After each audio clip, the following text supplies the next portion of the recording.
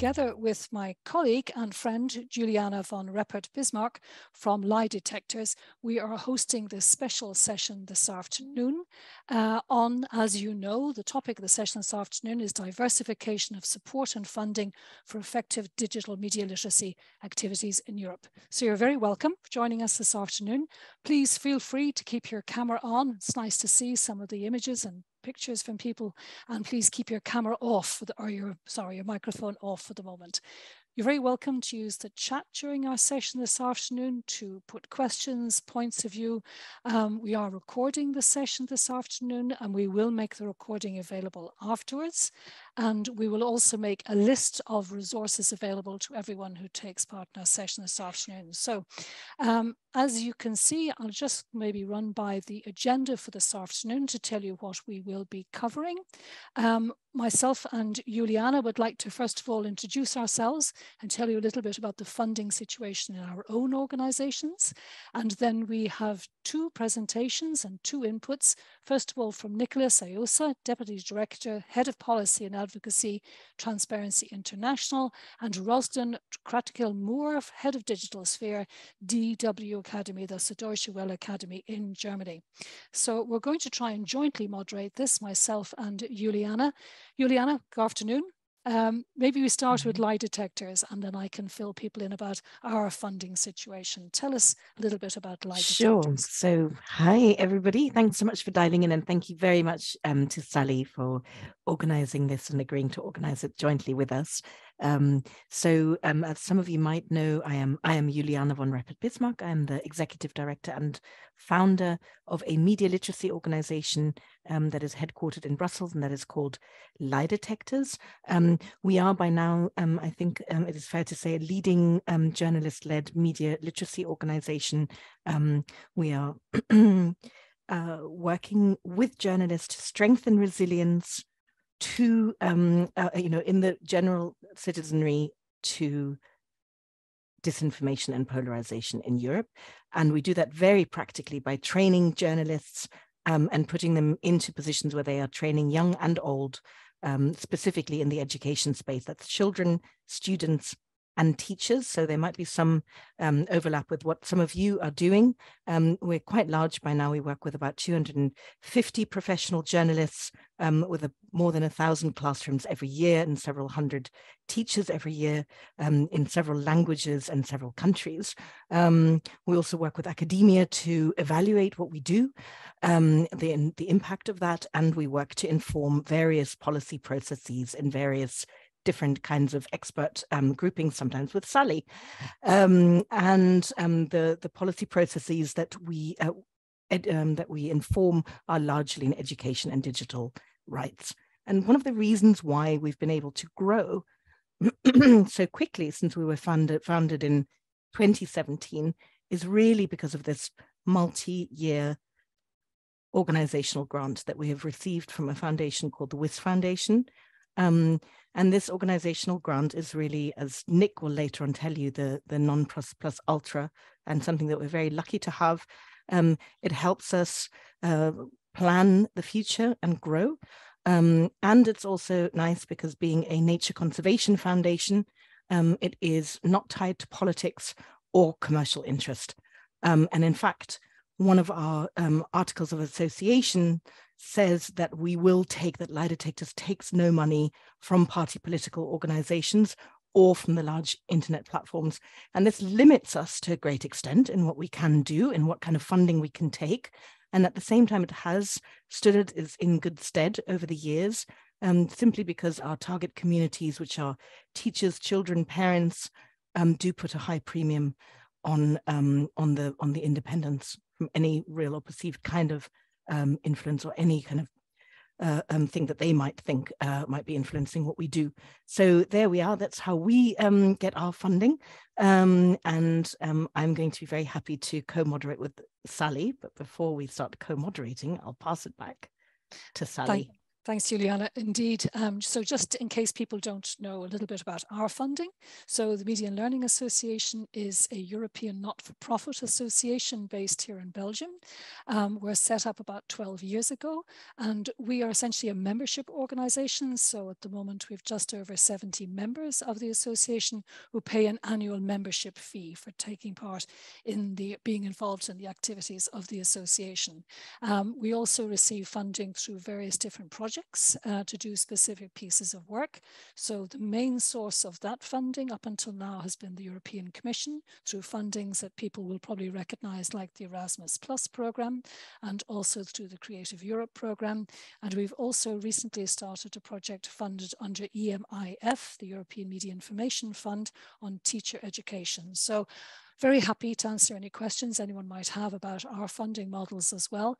And really this session came about because Juliana and I have been saying and talking to each other quite often in the last couple of months about why don't we talk more about funding and look at the different opportunities there are, but also some of the thinking behind this and how do you actually start to look at funding and look at opportunities and how you should do your planning and the strategies in place. So that's really why we decided to organize this session this afternoon. We hope you find it useful.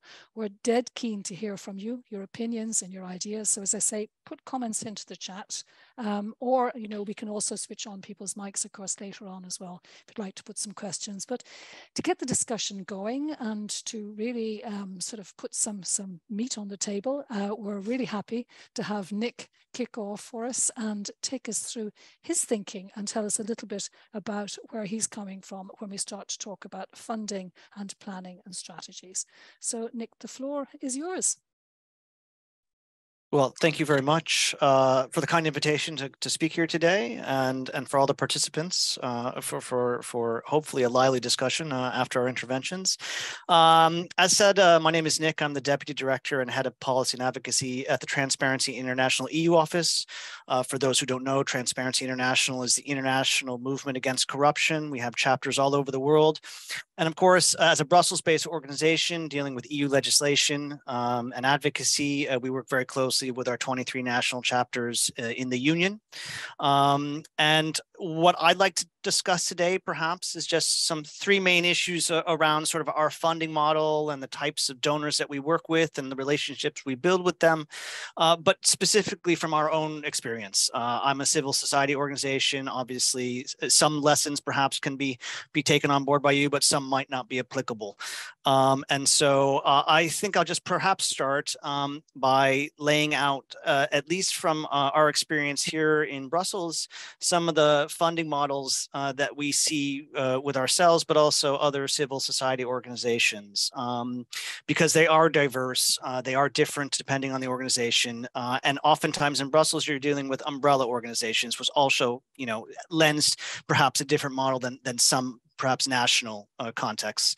Uh, so there are several models out there. I'll start with the ones that don't apply to us. Um, so uh, a lot of civil society organizations here in Brussels rely on annual contributions from uh, their headquarters or international secretariats. Um, it, uh, it often um, uh, is is a different type or percentage of contribution depending on the organization. Um, a lot of organizations here in Brussels also depend on membership fees from their from their national chapters or members or organizations that they work with.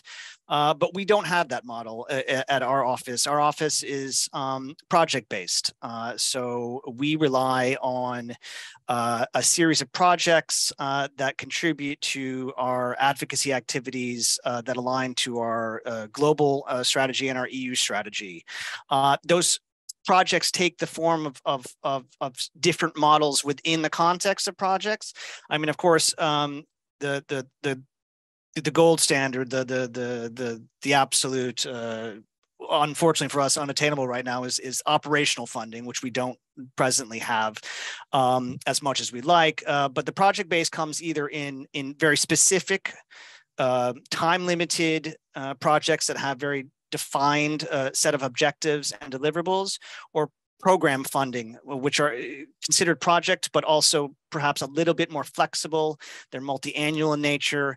Uh, they tend to, to talk about thematic themes um, that aren't as specific in nature and provide a, a bit more flexibility.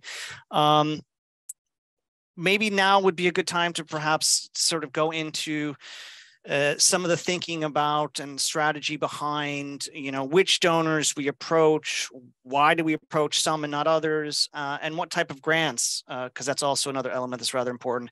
Do do we do we seek out, and which ones we don't? Um, I suppose I'll start with the with the the funding model, the funding donors that we don't uh, don't approach, uh, and as Juliana. Um, has highlighted, we also don't accept um, political affiliated uh, donors. Uh, we're an apolitical organization.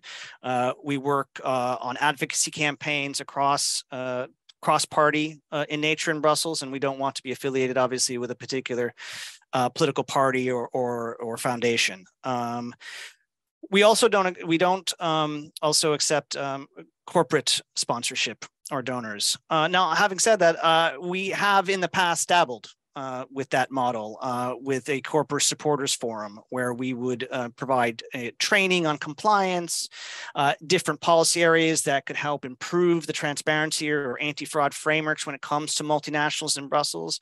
But we came to the determination many years ago that the the sheer due diligence due diligence involved in accepting that money and the potential reputational risks at play uh, just didn't make it worthwhile. So we, and again, as Transparency International, you can see all our funding uh, in specifics on our website, but we accept um, and seek out donors both institutionally and private foundations, uh, but with different with different aims. Um, so uh, we often receive money primarily from the uh, European Commission.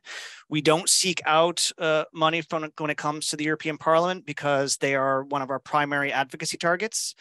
Uh, and the grants uh, that we apply for and have received in the past when it comes to the European Commission has to do with work that does not involve our advocacy related activities of the office. Uh, so we have uh, participated in calls that have dealt with research, you know, to, to taking a look at, at, at different uh, comparative analysis uh, purely from a, a research, research perspective. Uh, we have been involved in grants that have uh, allowed for us to carry out capacity building activities when it comes to our national chapters uh, and and uh, allow for the trading of of skills and and and and, and different knowledge um, based activities.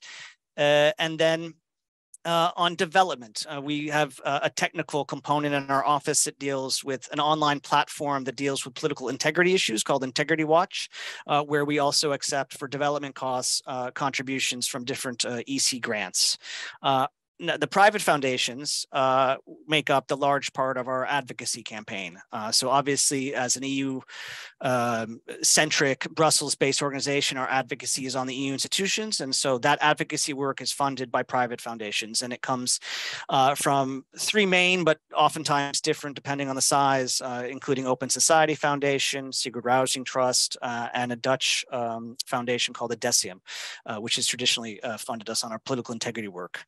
Um, and then uh, again, conscious the time and the need to to to hopefully have a have a spirited discussion, I will just raise sort of how we have gone about uh, cultivating and building the relationships with with the donors um, in order to secure the the funding that we we we presently have and, and have had.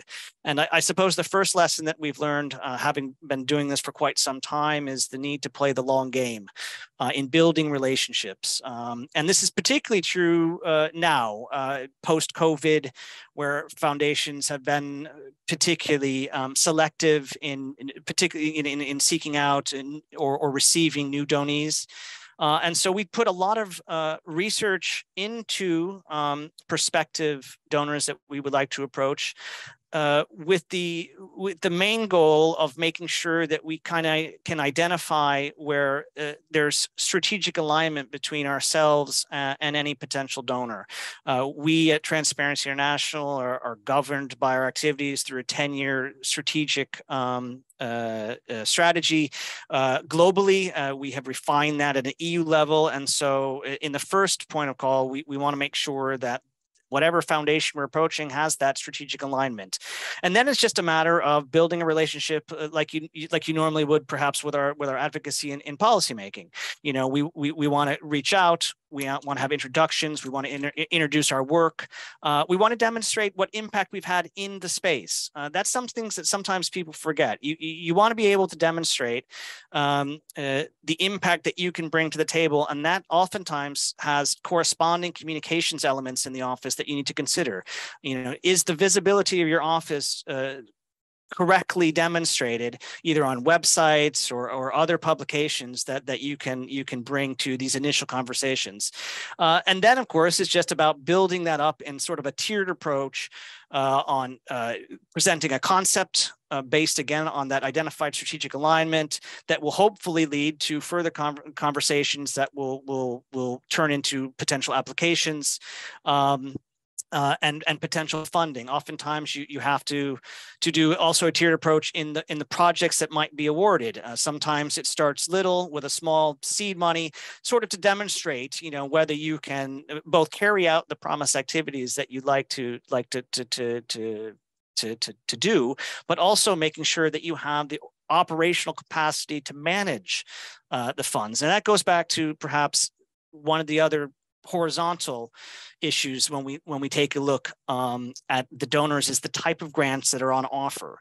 Uh, we as a as a humble civil society organization of medium size in Brussels, we have we hover around 12 to 15 FTEs at any given time. We don't have the capacity to go for large grants. Um, we can we can be uh, a, project partner in them, uh, but obviously we don't actively seek out um, consortium as leads, coordinators of large projects uh, because depending on the type of funding, and this is particularly true with institutional funding, uh, you have to be, uh, as I'm sure many of you are aware, have to be aware that uh, the management uh, and the operational capacity needed to, to, to engage in some of these grants can be quite significant. And so I have actually seen some NGOs get themselves in a bit of trouble uh, by entering into these grants, but not having the, with, with, with the requisite um, uh, advocacy or research capacity to carry out the deliverables, but not the corresponding operational capacity to manage the grant, uh, which can be sometimes bulky. Um, I think I'm going to leave it there because uh, because I, I, again I, am aware of the fact that we have a, a lot of uh, participants here that hopefully can lead to a spirited discussion, and I'm happy to address any of the issues I raised or, or any others that questions that they may have uh, during the discussion. Thank you.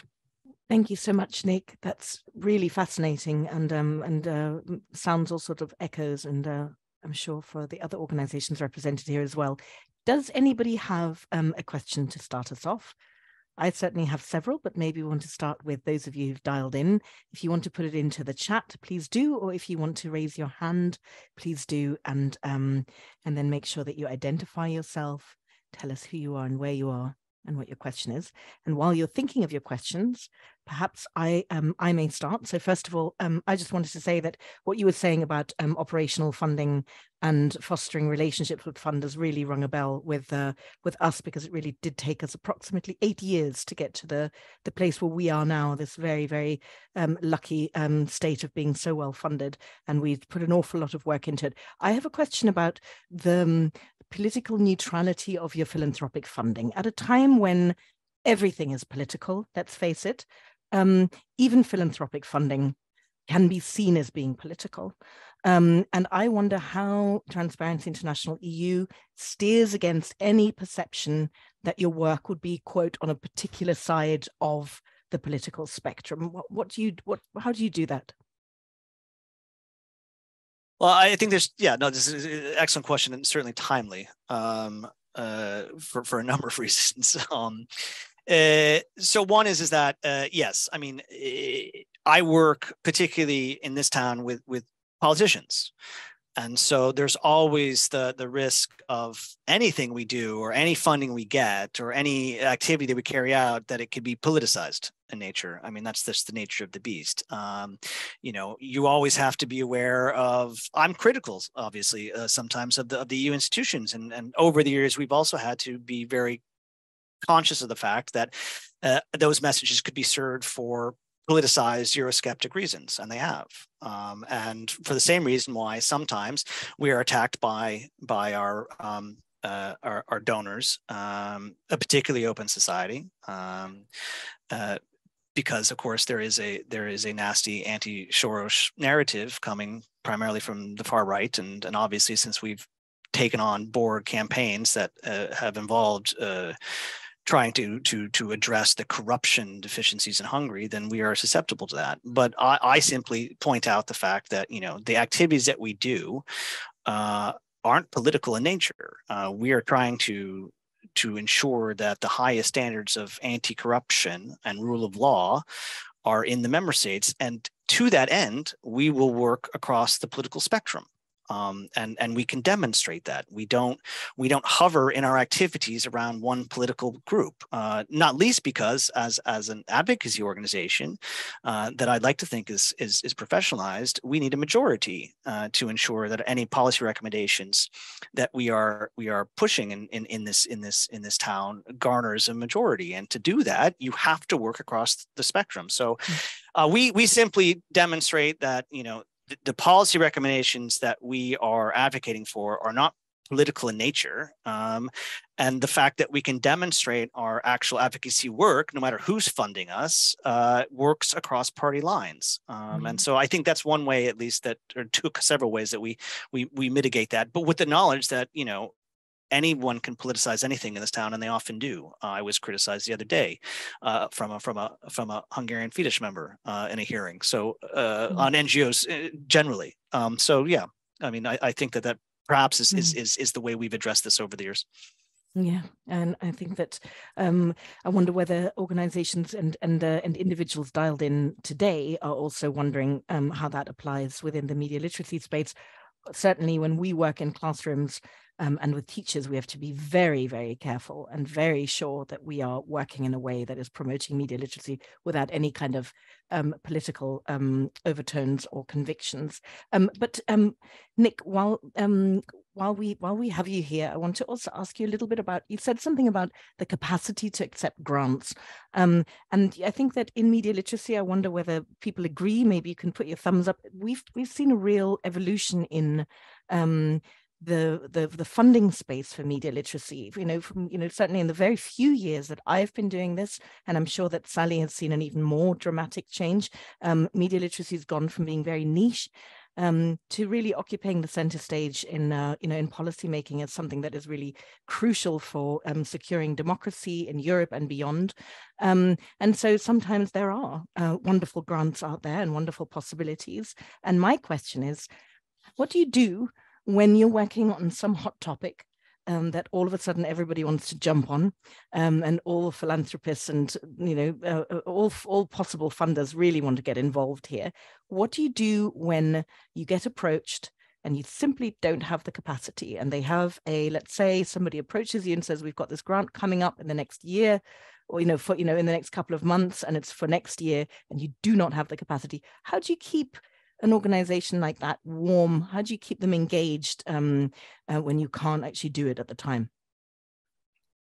Well, I mean, yeah, a very good question again, uh, and something that certainly has come up from time to time. Um, I mean, uh, when I enter into these uh, discussions, I, I suppose it, it, when you talk about capacity, as I alluded to in my previous remarks, you're talking about two sets of capacity: one one operational capacity to manage whatever whatever grant that may be on the table, and and then of course you know the the, the actual capacity to carry out uh, whatever project activities you you would like to to see envisioned uh, under the grants. Um, and I tend to address this by being very frank and and and honest. Uh, I I think that that has always carried more weight uh, with with donors. Uh, the, there's there's there's always I suppose among some organizations who particularly again always have to fundraise. I mean because we're civil. I mean we're we're we're never not fundraising. You know there's always you know taking a look at you know what what the prospects are of the of the, the, the next six months or eighteen months. Um, uh, there there might be the the the the you know the the the situation where you you, might want to not be as upfront uh, with the possibility of getting money later on, even though you don't have the capacity. So I tend to, to take an, an, a different approach and be completely upfront and honest. Here's what I can do. Here's the capacity I have. And if you want me to do this, this is what I would need to do it. This because again, you're entering into discussion uh, about resources. So I I I tend to be very upfront and say, well, I, I think this is an excellent opportunity. I, I think that there there's there's a, there's a there's there's a there's a window here to do X, Y, or Z as far as advocacy goes. Uh, we have this capacity that we can do that with for that sum of money. But if you want something more, um, and and you can always sometimes make a compelling case for that, this is what we would need yeah. In, in very very stark terms and i know sometimes you know talking money makes people uncomfortable and you know you don't want to you don't want to seem to think that you know to demonstrate that you don't have the the capacity to do something if there's interest shown because oftentimes you know it's very rare actually the donors will approach you um, so i mean if that happens you know you you might feel compelled to to to perhaps not be as upfront on your capacity so not to to to you know risk losing that that money. But if you're upfront, I, I tend to think that actually mm-hmm. that's more appreciated by donors. I mean, of course, there's probably donors on this this call that may disagree with me, but I, I'm frank, I'm honest, and I, I'm very clear on what I can and can't do uh, with the available capacity and resources, but what I can and can do if that's increased as well. Yep. Yes. Thank you, Nick. And we have a question from the audience. Nicoletta Corbu has posted something in the chat, but perhaps Nicoletta, you would like to um, yes, show your camera and ask it. Um, oh, yes, please. Uh, so I, I'm coming from academia. I'm a professor at the National University of Political Studies and Public Administration in Romania.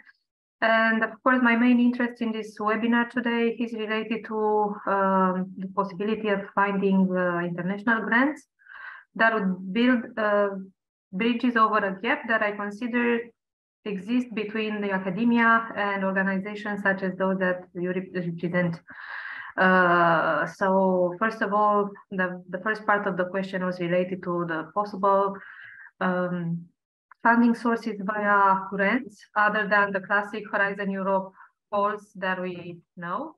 And one example that I uh, have given is the Media Literacy for All Preparatory Action, or if there are any other ways in which we can start working together outside these possible grants that of course you can always apply but it's really difficult to to win. Thank you.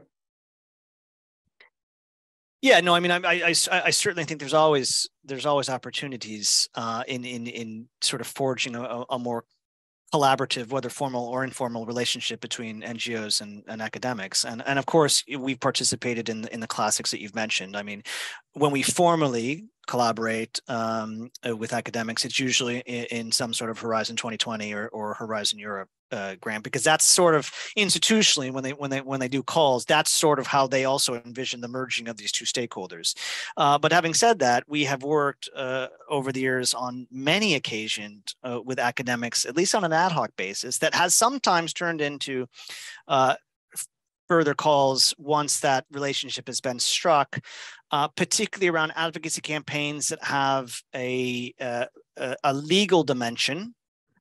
Um, when it comes to directives or regulations. Oftentimes, uh, we rely on legal academics uh, when we're in pre-proposal phase, for instance, with the commission, uh, when they're discussing, well, should it be, you know, Article 114, internal market, or should we be creative with that legal base? That's oftentimes when we we've relied on academics. And the other time we've relied on academics, at, at least not for us, but other organizations that have had funding. Actually, that's not true. In 2016, we did this. There was funding with academics, um, and that was around again pre-proposal activities where academics would draft a a draft directive that we would use as a, as a discussion with the commission as they're drafting their proposal. And we did that with the whistleblowing directive. Um, so there was a group of academics uh, who did a did a, a, study slash draft directive, and we did it again mm-hmm. um, in a, in the Case Coalition, which again has a lot of different um, uh, media freedom associations on SLAPPs.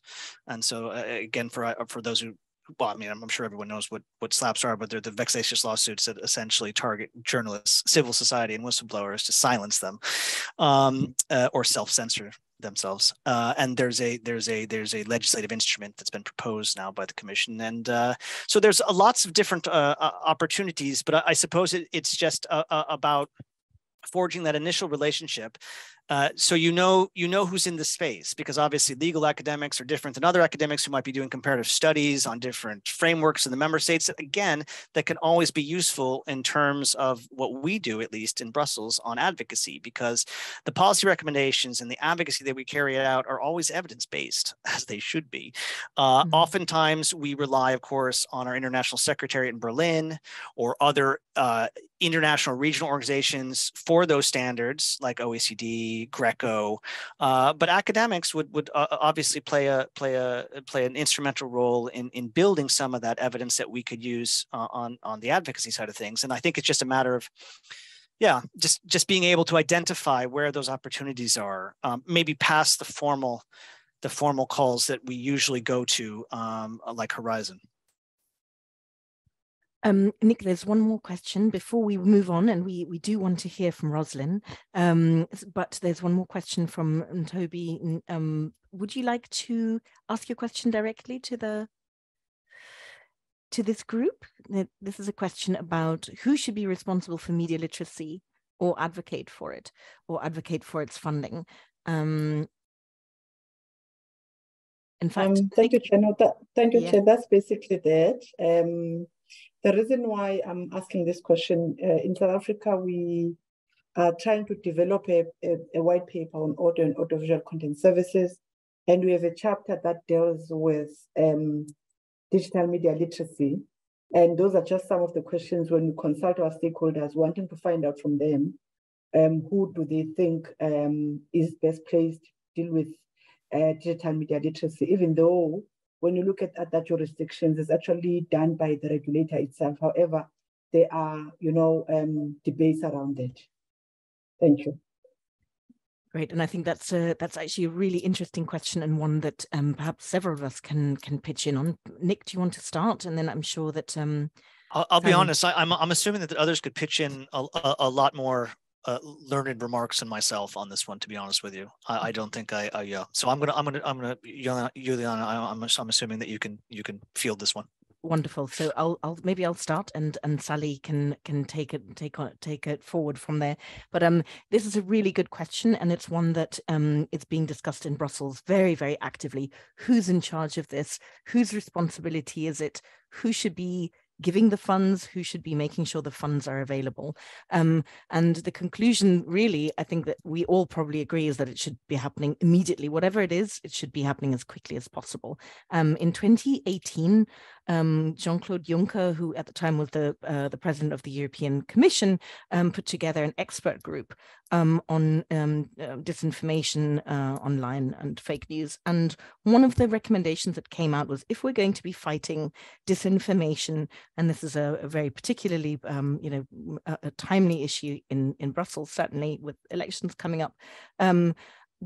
Through media literacy, then how is that media literacy going to be funded? And the answer that came up in the expert consensus of this expert group was that there ought to be funds coming in not only from the European institutions, not only from the large internet platforms that have money, um, let's face it, and that don't currently face a tax or anything like that, and, and not only from um, philanthropy, but as a combination, and that the best way forward would be to create a clearinghouse mechanism, a single funding vehicle that would pool this money together. And by pooling this money, it would eradicate any real or perceived influenced by any one of the donors. Um, and this seemed like a very elegant um, solution. It's actually much more difficult to put into practice. Um, but um, these are certainly things that um, that you know that, that that people are thinking about very actively. Also at OECD level, there's an awful lot of um, movement at the moment at European Parliament level. People are talking about the funding on this. I can tell you that we have seen, you know, we were one of the very early beneficiaries of an organization that is a climate, uh, a nature conservation foundation that made the link very quickly between um, uh, erosion of trust in facts, erosion of trust in science, and threats to effective climate change policy. This is why a nature conservation foundation is funding a media literacy organization like Lie Detectors, which isn't actually that obvious. Um, but I think you'll see that more and more, um, you know, there are uh, you know all the pro-democracy foundations and all the um, climate um, foundations, even you just read the news and you'll see whenever people are commenting on disinformation, they will be, and the need for media literacy, they will be addressing the fact. Um, and often they will be quoted from the point of view of, of, of climate activists, green politicians. So I would say that new sources of funding can certainly come from the philanthropic um, sector where where the funds are usually being diverted to climate change and also to pro-democracy and democratic strengthening. So I see enormous potential there. And we have seen an awful lot of um, foundations and philanthropic um, organizations really shifting their attention. They might not be as visible, they might not be as familiar to you, they might not be as proactive because they might be quite new to this space, but they can be extremely receptive to and responsive to um, pitches from the kind of organizations like you doing the kind of organizations that you and we all are doing.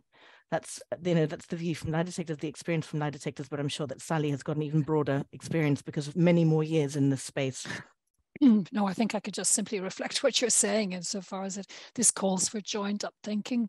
This calls for an awful lot of collaboration. This calls for us looking at something in a much more holistic way than we probably have been doing in the past. And I think in a way that's what we see when we see the kinds of people who are joined up this afternoon, small, tiny NGOs trying to do their best in limited circumstances. And I think this is too big a challenge to leave it at that. So we just agree, Natombi, I think completely in terms of it being something that is much broader than we've probably been looking at in the past. I'm going to move on if that's okay, uh, Juliana and Nick, and I'm going to introduce our second speaker this afternoon. And I'm delighted to welcome Roslyn, Roslyn uh, Kratochvil Moore, head of the digital sphere from Deutsche Academy, to give us another perspective on this whole question of diversification of funding for media literacy activities. Roslyn.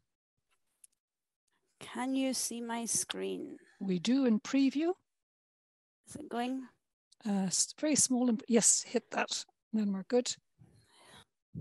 But we're not. Uh, no, oh, yeah. Okay.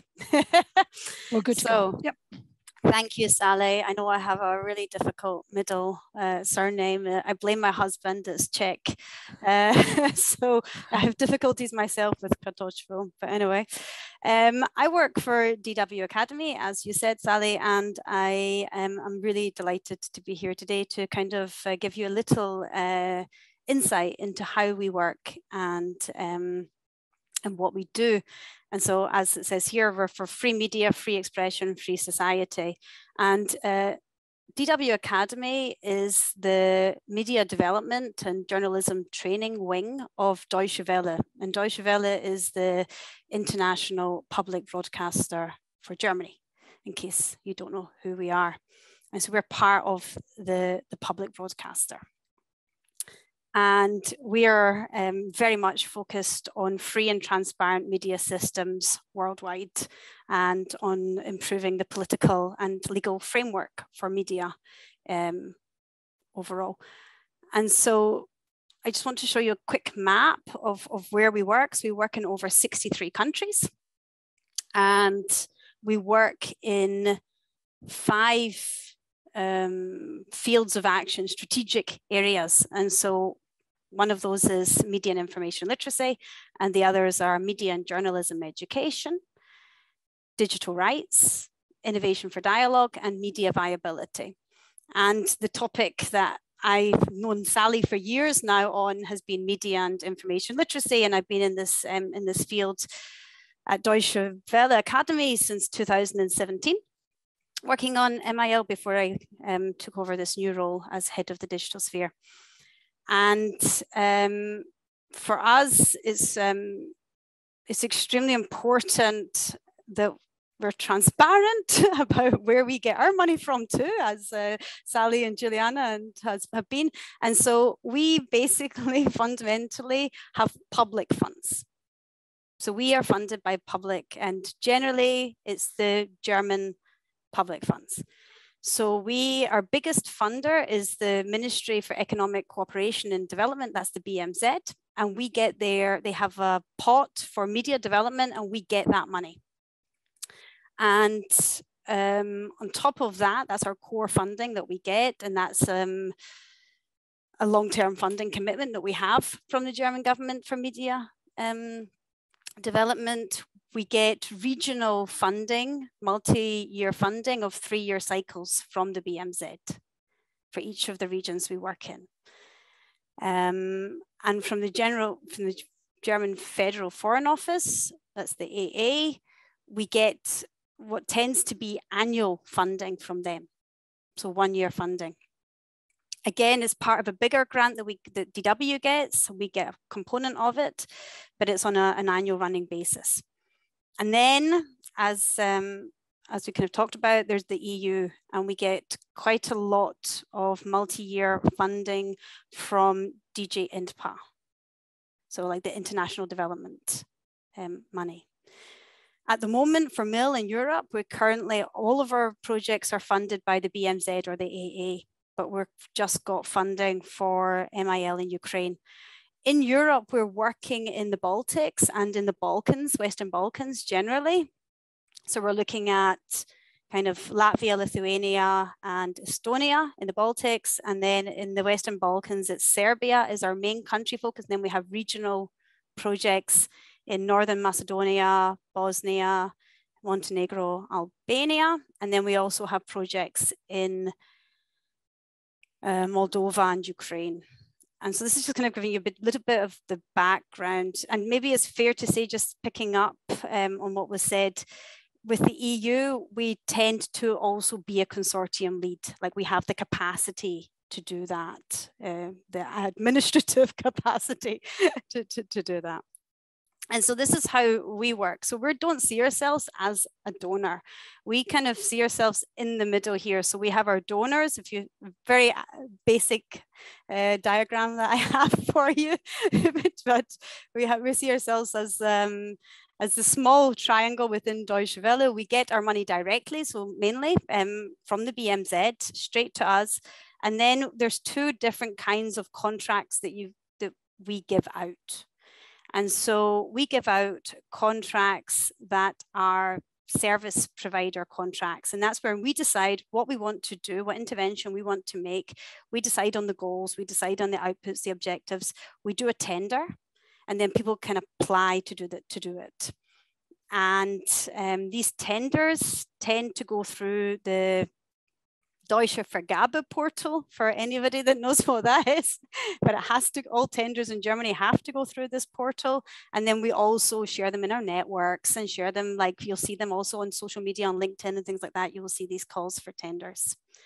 Now, the other way that we work is that we work in core partnership with an organization, a local organization. So in the country that we're working in, we will um, have this combination of service providers and core partners. And with the core partners, we decide on the goals together. So we decide together what's the implementation strategy, what we're trying to achieve, what we're trying to do, and we do it together. And then we would um, give funding to the core partner, and then they can also engage service providers, as you can see, and then they're reaching the intermediaries to work with them to reach the final beneficiaries. So, for example, in Moldo Moldova, you know, we work with um, with the Teacher Training Institute, who are then training the teachers and teachers reach the children. And so this is the kind of um, logic behind it. And we would maybe then work with service providers to give, make sure that our MIL training materials are incorporated into this curriculum, that the quality is of a level with MIL experts from the region. Academia, like we just heard from the Romanian um, input, that we also would have studies done to understand what exactly is going on. And this would all happen through tenders and service providers. And then we have networking partners as well, which is normally with memorandums of understanding. So this is not where money is um, exchanged, but normally with knowledge. Um, and we work very closely. And this is another space where you get to know people who you could potentially work with in the future um, in consortia formed. And then um, to give you a little bit of the strategy chart of how we work. So the strat this, this kind of grey box is where we're working um, in cooperation with um, local partners.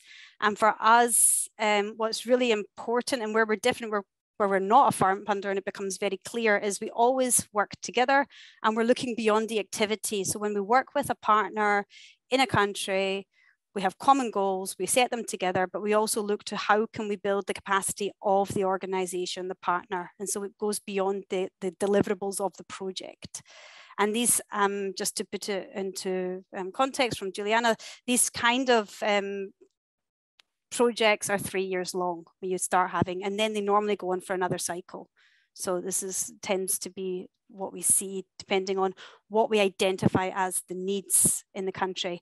And so just to kind of end, I want to talk about how do we actually, what's our criteria? How do we go about this?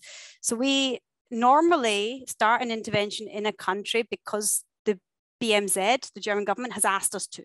So it is political in a sense. Yeah, we are driven by the by the German politics. So when the German government decides they want to be active in a country, they will approach us and say, please go and do uh, um, exploratory mission and see what are the what's the media ecosystem there, what are the needs, where's the what's required.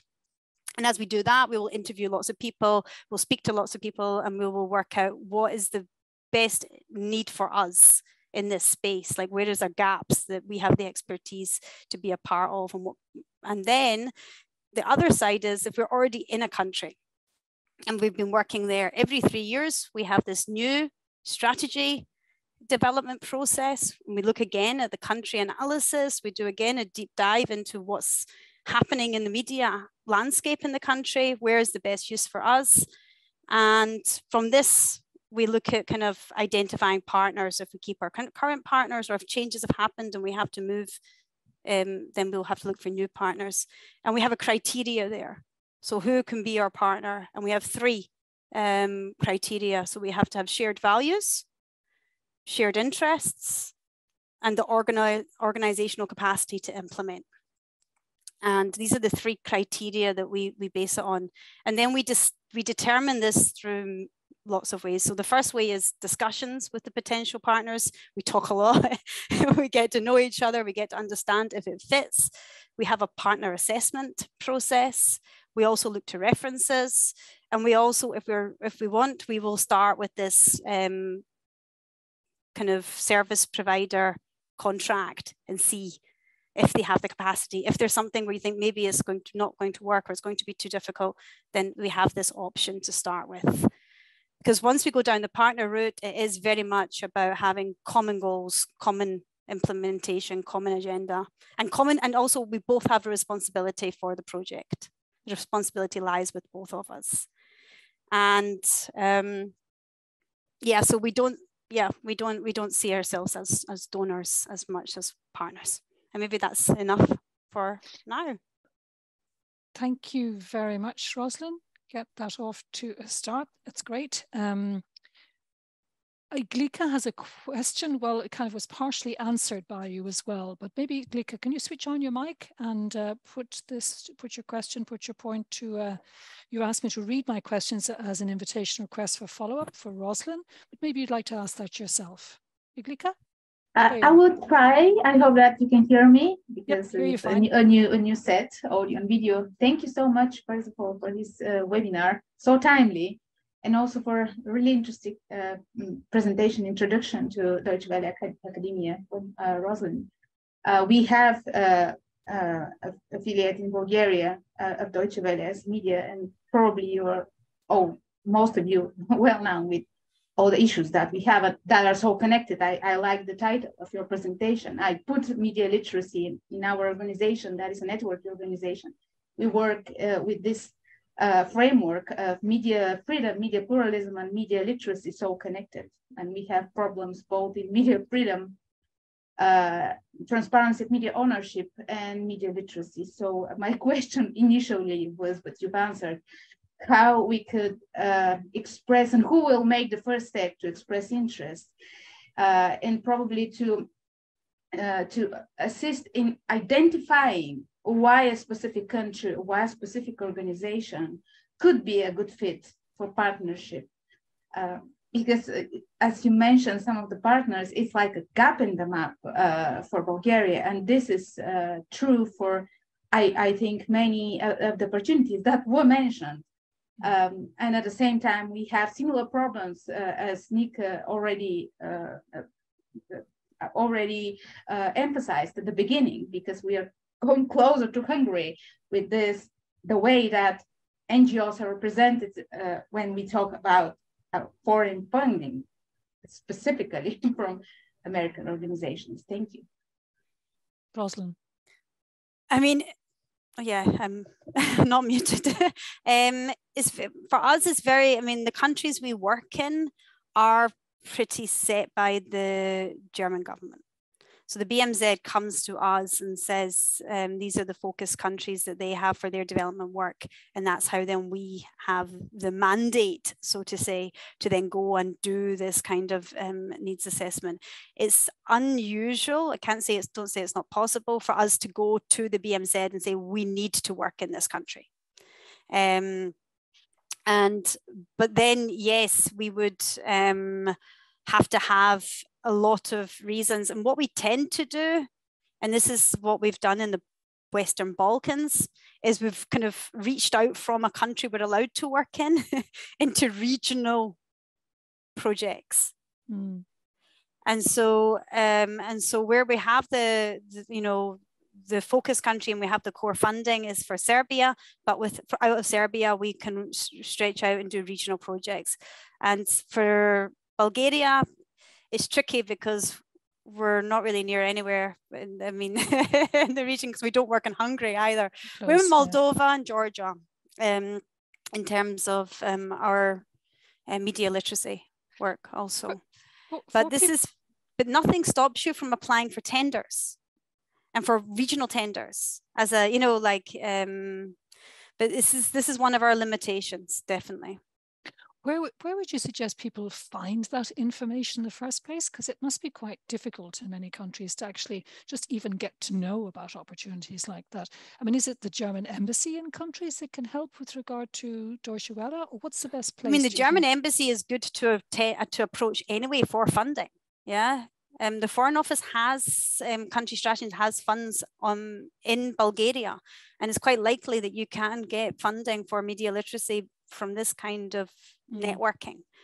Um, from that a, is a kind of a piece a, of advice we'd give generally, I think. Is I'd it? give Check that advice generally. Yes, yeah, it's, yeah. It's, it's, it's, it's, works all over the world, yeah. Um, and not just the German embassy. Let me be frank. um, but the the other thing I wanted to say was um, for us, see this. I mean, it's very German, but this Deutsche Vergabe portal which I can hardly even pronounce myself, is where the GIZ, all German entities have to ha have to put all of their tenders in there.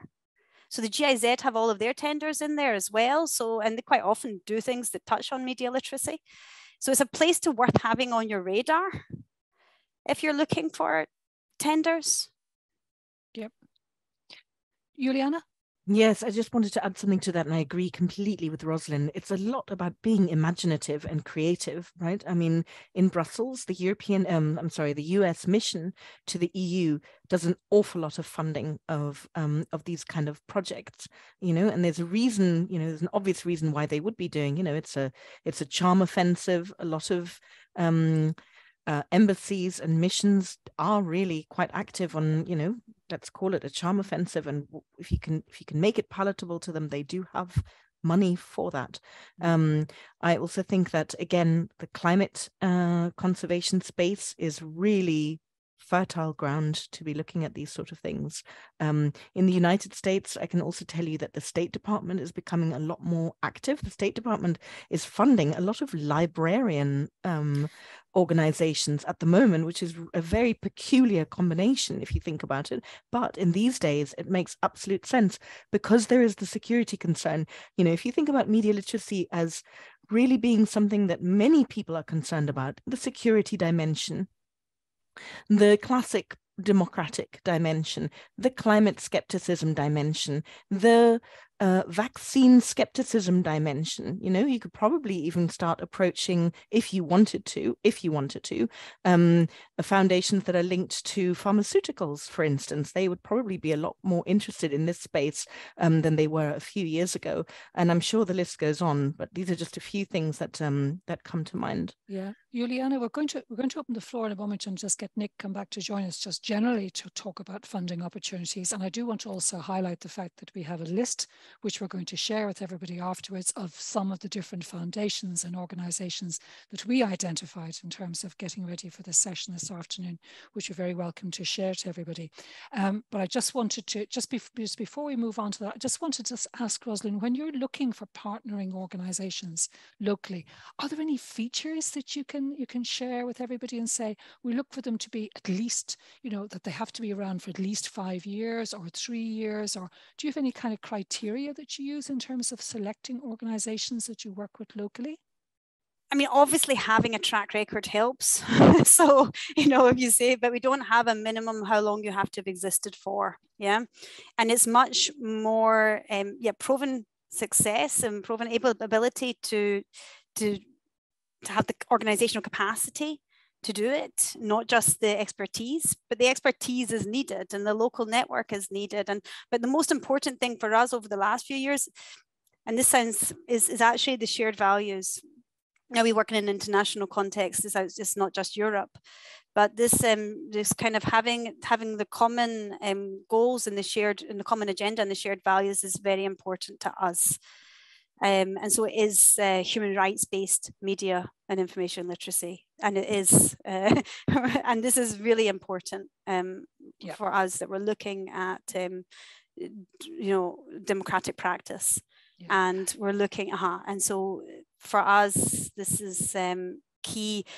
And um, and as I was saying just before, um, you know when you work with us you also have to have to understand you don't have the autonomy you're suddenly working with us it's, it's partnership on both sides it's not just a transactional um, money uh, relationship mm. and so i think organizations also i mean this is why it takes a lot of discussion and getting to know each other to work out if this actually is what's wanted from both sides and so it's it's um it's more complicated or complex uh, than than mm. uh, than having um, basic requirements or minimum requirements. Yeah. It's a case of making that explicit as well too from the word go, even though it's sort of understood, but you know the organisation, the local partner needs to make that very clear that that's what they're about. Yeah, because it's very different to a normal funding relationship where you take the money, you deliver, you send in your reports and your invoices, and yeah. everyone's happy. Okay, look, uh, then I think in terms of, of kind of moving us on to a more open conversation, if we can, not that this hasn't been an open conversation. Thanks, Iglika. I see your comment as well too about the fact that you're being funded with the small grants program, the US Embassy in Sofia, and also referring to this partnership model as being the way that it should be. Um, we have some time. Uh, thanks, Chloe has just uh, given the list of funding. Um, you can download the PDF from the chat, this list of funders, possible funders that we saw. But maybe we just like to open this up a little bit. Please feel free to put any comments into the chat and we'll happily switch on your microphone as well too, or have you have you put your question or your point of view. Um, maybe start with you, Juliana. Did you have any specific points you wanted to raise now with Nick and with Rosalind after that discussion that we've had thus far? I do actually. I've got a couple of questions um, that might be also um, worthwhile putting to, in fact, both um, Nick and Rosalind. Um, one of them is about getting away from a zero sum game. So, leading on from that question about if a grant comes along and you don't have the capacity to take it, um, in an ideal world, you would realize we're all in it together and we are all fighting whatever it is, you know, whatever you want to call the, the threats to uh, um, that make the need for media literacy so pressing polarization, um, propaganda, disinformation, whatever you want to call it, or just general need for media literacy in a in a more digital environment. Um, in an ideal world, you would be glad to pass that grant on to the next organization that does have that kind of capacity because we're all trying to save the world. Um, and if we can't take that money that will save that will help save the world, then somebody else should be taking that money. How do you negotiate that within your community, Nick, um, where you're saying, you know, it is a competitive space, um, but you are actually pulling, you're trying to pull in the same direction. I'm sure you're working in lots of alliances with other organizations. How do you live and really exercise the principle of a shared goal, a non zero sum game when it comes to grants? Or is that an unrealizable ideal? Um, I mean, based on personal experience, actually, we haven't necessarily been put in that exact situation where we've had a capacity issue per se, because there's a we have we have a big enough office that there's always capacity to do something. It's just a matter of you know the scale of it. Uh, what we have found ourselves in a situation is you know it's just not a right fit for the type of organization and and the activities that we carry out where we passed it on uh, because again we we recognize that you know uh, shared goals uh, and particularly ones that come with uh, attached resources and um, are, are, are always uh, beneficial collectively. Um, and so, actually, where we have found that we've passed things on have been mostly around the type of grants and the activities involved.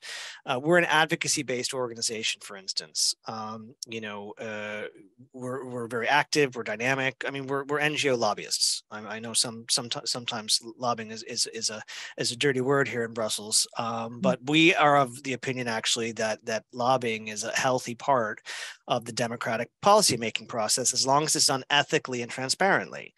Um, and so, uh, for instance, we have recognized that there have been interesting opportunities on the policy areas that we work on that align with our strategic vision, uh, that comes with uh, promised resources. Uh, that align with you know a whole bunch of different factors as far as opportunities go, but they involves intense research Uh, we're not researchers for instance and so but we know organizations that you know are research based whether it's our chapters or not i mean you know so it's it's really how we've we've looked at it through the lens of you know are we can we bring the skills and and the experience that's needed in this particular call or is there some other organization whether it's in TI or not that could be better at it. And in that in those cases, we have passed on opportunities where we just have determined that, you know, we're not the best fit for this. And actually, there's an organization that that can bring that skill set much more to the table to deliver, hopefully, more impact than we would.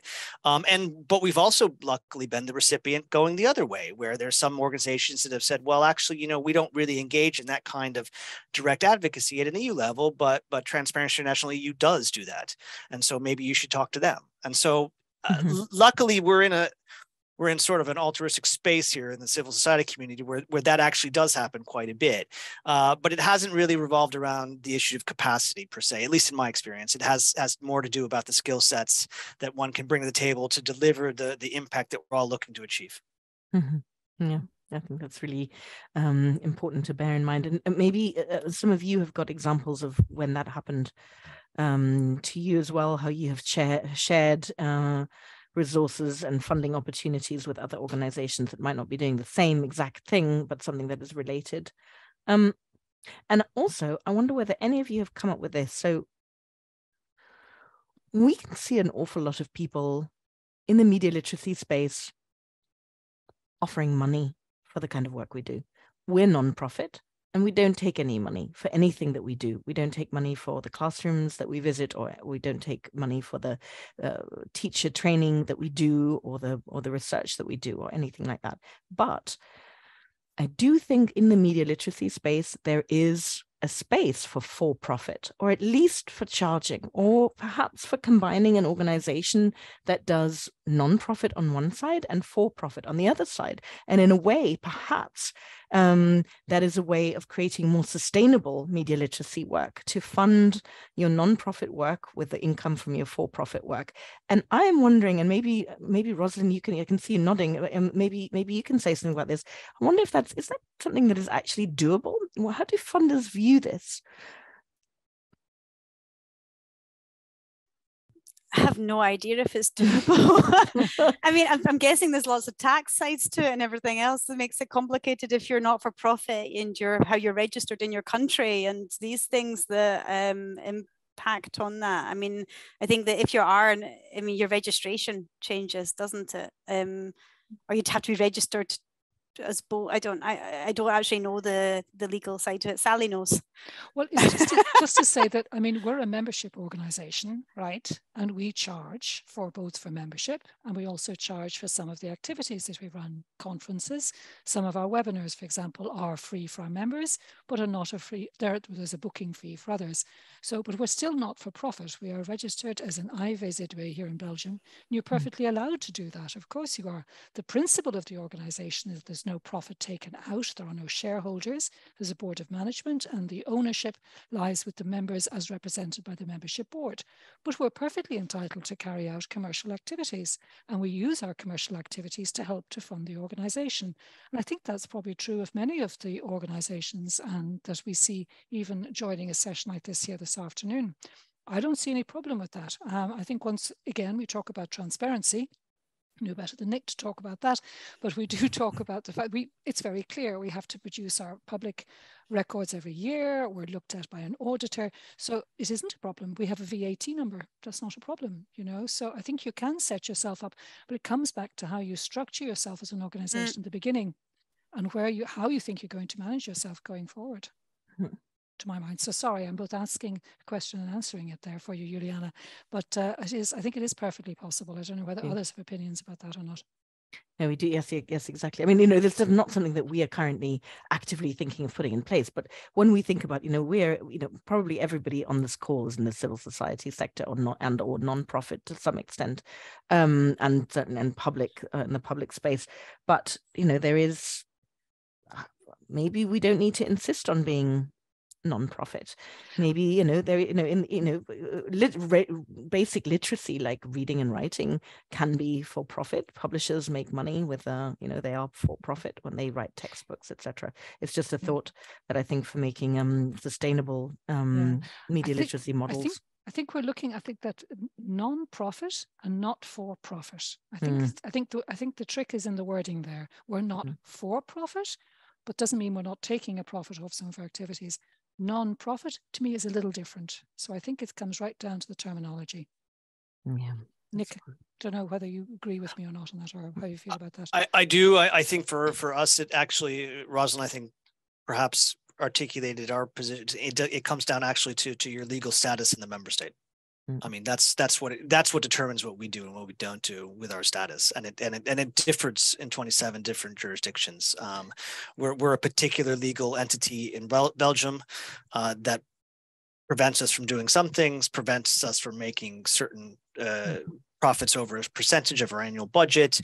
Uh, we tend not to we have made also a determination that sometimes also yeah vat status is is, is sometimes problematic uh, and and you have to do a cost benefit analysis of whether you want to retain that and and and all all the potential uh, organizational burdens that comes with it based on what you're bringing into the organization from fee making activities. And actually we don't really do that anymore. Uh, we used to dabble with it but it just didn't it didn't didn't generate uh, the the the amount that we would need to justify yeah sort of the tax related issues at play with that. Um, uh, and only be, and also because we don't uh, because of our organization we didn't really also have the opportunities for any kind of you know uh, fee paying, for instance. Um, I mean, eh, we would give speeches sometimes uh, where we would we would charge only if the organizer was charging the participants. So we give speeches all over the place um, to, to different organizations and associations and groups uh, for free um, you know but if if that that organization was charging participants obviously i think it would uh, it, it only is fair that that there would be some sort of accompanying fee for the speakers so since you know we are helping generate that profit for the organization but it, it rarely came comes up for for us i think it's just a different model mm-hmm. yeah. um, may i ask sally a question and that is with your vast um, and long um, experience of the media literacy space um, and your view of you know how the funding space for this area has changed over the years um, can you characterize the change that you've seen? And then with that knowledge can you give a little bit of a maybe even a prediction of where you think it's going next? First first of all you you age me but I'll, oh. probably, I'll probably have to live with that, but not to worry. Um, no, I, I think I, th- I, think it's it's a little bit as you said yourself at the beginning. I think we've gone from this being. I mean, Rosalind and I know along each other a long time, and you know, media literacy was a minority sport. There's no doubt about it. It was something that people were not particularly concerned about. It was over there in the corner, and there was a lot of discussions about definitions um, and trying to figure out actually what we were talking about. Whereas now, I mean, because of the the whole issue around disinformation, because of the way that our our, our whole view of democracy is changing, of course course, media literacy is brought into that. And for me, that's a very good thing, you know, and I, I certainly don't don't regret it by any manner of means. But it does, um, it does in a way challenge us because we're also asked very quick to come up very quickly now with quick results, um, quick answers, um, show me the impact of what you're doing. And of course, what we're doing and much of the work that is carried out by our members and by others in the area of media literacy is not measurable in the short term by any manner of means. And so I think we have to be a little bit careful insofar as that we're a flavor of the month at the moment and you know we're getting a lot of attention but there is a danger of course that if we're not careful that we will be you know we will be seen as as promising a lot and not actually delivering so we have to be careful to determine our own on our own terms what it is and our members and the people we work with mm. i think are very aware of that so we talk a lot about evaluation and impact these days there's a lot of lot of um, attention being paid to that. I think it's important on people, not people like me, but people who are practitioners in the field, really have a say in what we do and what we measure in order that we don't end up being bringing ourselves into trouble in the short term. Mm. I don't know whether that's very useful or not, but uh, I think that's probably going to bring us very close to the end, Juliana, if I'm not mistaken. Um, quick wrap up maybe from everybody here. I don't see any further questions. Thanks for the comments and the feedback that we've been getting in the chat, but maybe a quick roundup from everybody, from Rosalind maybe. Final thoughts if you want to share with everybody. The whole point of the session this afternoon was to diversified, think about your funding and maybe look at other any opportunities. Anything you'd like to say? I mean, I'd like to just add on to the last point of what you said. I think that we need this multi-stakeholder approach from MIL. Like we're very much in kind of structural systemic change is needed, the long-term thing that Sally's referencing. Um, but as you now know, like right now I'm sitting in Paris in a hotel room because I'm at this um, UNESCO, uh, you know, Internet for Trust event. And there are a chapter on media literacy and what the platforms are going to have to do and how they have to involve media literacy experts in this and practitioners. And so this is only growing, yeah?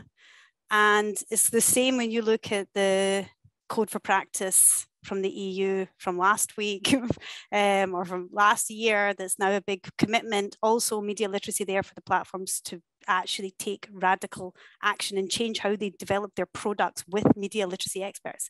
So there is going to be this space, this diversification of funding is going to get more complex because you then have to ask yourself the questions about the platforms. And this is something we discussed earlier when we were preparing for this uh, session. Are we going to discuss the platforms? But that will be the next big challenge that civil society does have to think about and decide on. And media literacy has to see what, what role media literacy experts will have to decide how they want mm. to support that because the platforms are there, they're staying, and they need to improve. Absolutely. Nick? I mean, no, just to just to stress, you know, three last points. One of which I, I already made, which is, uh, yeah, the, the recognition and the need to to play the long game when when you're looking for sustainable and diversified funding. And two, uh, and I know it can be a pain, uh, but you need to to be committed to dedicating time and resources into fundraising. I, I, know particularly that's difficult for small organizations. Uh, if you don't have the skill sets, you need to seek them out. You need to maybe even get training. Uh, but it, it, it, does take time. I know because I'm doing it all the time um, to to to ensure that fundraising uh, is is granted the requisite amount of time and resources uh, organizationally. And then the third point, I suppose, I, I leave, which I sort of touched upon earlier, is that you need to adopt a creative approach. Uh, that creativity doesn't just extend to what kind of donors you're looking for or the types of grants, but perhaps what what was alluded to with the, the, the bringing together of different stakeholders, whether they be academics or civil society, but a creative approach in finding other partners uh, when when doing these grants, uh, because I think that that is actually perhaps one of the more important elements that at least some donors are looking at. I mean, you know, if I partner with a bunch of transparency civil society organizations, as a call, it might not bring as much um, attention uh, from a donor if I was, uh, you know, thoughtfully bringing in other stakeholders with different skill sets, but all complementary that might be more beneficial in achieving the impact set forth by the call. And so I think with that, and again, thank you very much for the invitation and, and the kind attention from the all participants. Great, thanks. Juliana, you are going to show us a couple of quick slides as well, just to remind people about, thank you so much, Nick, thank you so much, Rosalind, about lie detectors, uh, so people know where to find out more and know more about your organization? I think this is all in one um, in one presentation. So um, we are we are running our training workshops for teachers and students and children in a variety of languages and you're very welcome if that is something that is of interest to you to contact us. If you want to um, be aware of our research and as uh, Sally was saying evaluation is important. This is something that we're paying extreme attention to and working with academia and making sure that we don't fall um, become prey to solutionism I think is a really good and important word to bear in mind. Um, uh, and not trying to find quick fixes that actually don't really fix things. Um, if you want to know about what we're doing on that, then do follow us on on LinkedIn. Thanks, Juliana. And I think I just have one last slide as well, too, if I may. Media literacy. This is our newsletter on um, Media Learning newsletter. It comes out every month. Join us, sign up for it if you haven't seen it. A um, couple of articles are quoted there. And then our next uh, the next sessions in our Wednesday webinar series, 22nd of March and the 19th of April, are both on the new EDMO Hub started this year, and then on the 10th of May on video-based resources for schools. And our conference takes place in June in Leuven in Belgium. That's everything from us. I think we went a couple of minutes or one minute over time. Thank you so very much uh, from Juliana and from me and to our colleagues and Lie Detectors. And here, thank you very much, Chloe, for making the session run so smoothly. Thanks to everyone who joined us today. We'll see you again soon. Bye-bye.